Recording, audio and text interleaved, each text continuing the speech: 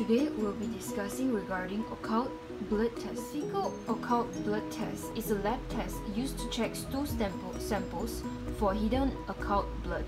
Occult blood in the stool may indicate colon cancer or polyps in the colon or rectum, though not all cancers or polyps bleed. Typically, occult blood is passed in such small amounts that it can be detected only through the chemical used in a fecal occult blood test. If blood is detected through a fecal occult blood test, additional tests may be needed to determine the source of bleeding. The fecal occult blood test can only detect the presence or absence of blood. It can't determine what's causing the bleeding.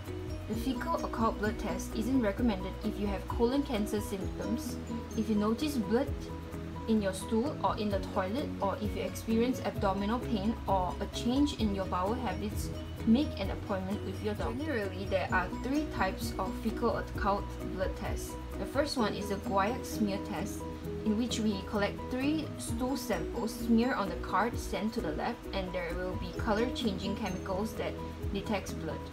Secondly, we have the fecal immunochemical test, which in which we collect one to three stool samples, smear on a card, and send to a lab, and the antibodies will be able to detect blood.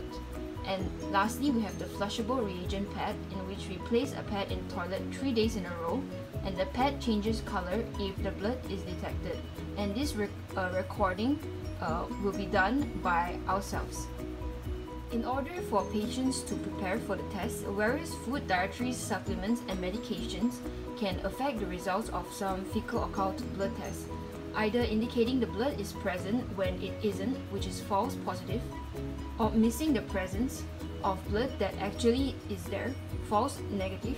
Your doctor may ask you to avoid certain food or medicine. To ensure accurate test results, follow your doctor's instructions carefully. For about 3 days before the test, your doctor may ask you to avoid certain fruits and vegetables, including broccoli and turnips, red meat, vitamin C supplements, pain relievers such as aspirin and ibuprofen, for example Advil or Motrin IB.